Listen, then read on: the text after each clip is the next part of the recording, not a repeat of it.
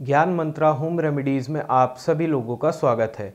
आज मैं आप लोगों को बताऊँगा कि अगर आप अपने सपने में शादी देखें तो उसका क्या मतलब होता है। अक्सर लोग अनेक प्रकार के सपने देखते हैं, मगर निन्यानवे प्रतिशत सपने जो व्यक्ति देखते हैं, वो याद नहीं रहते। केवल एक प्रतिशत सपने ही याद रहते हैं।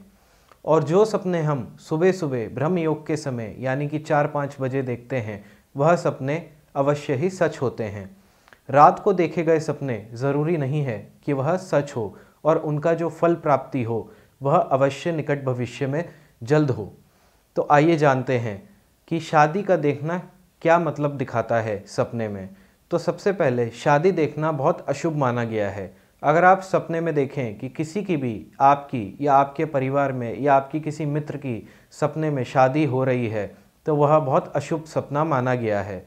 वैसे तो शादी का होना अगर हम देखें तो बहुत शुभ होता है, मगर यही शादी अगर हम सपने में देखें तो बहुत अशुभ होता है। तो सबसे पहले, अगर आप देखें कि शादी में दूल्हा दुल्हन फेरे ले रहे हैं तो वो भी अशुभ और बुरा सपना माना गया है। इसका मतलब होता है कि निकट भविष्य में कोई ना कोई बाधा, कोई ना कोई दिक्कत आपके कार्य में आने वाली है।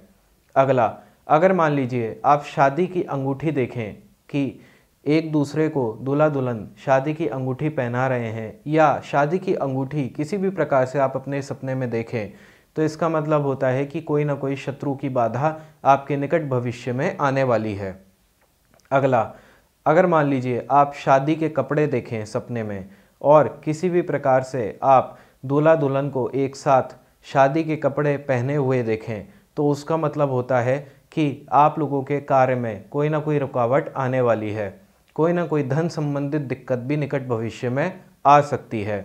अगला, अगर आप शादी की बारात देखें, जो बारात निकलती है, अगर वो सपने में आप देखें तो इसका मतलब होता है कि निकट भविष्य में कोई ना कोई रोग या बीमारी आपको या आपके किसी भी परिवार के सदस्य को लग सकता है।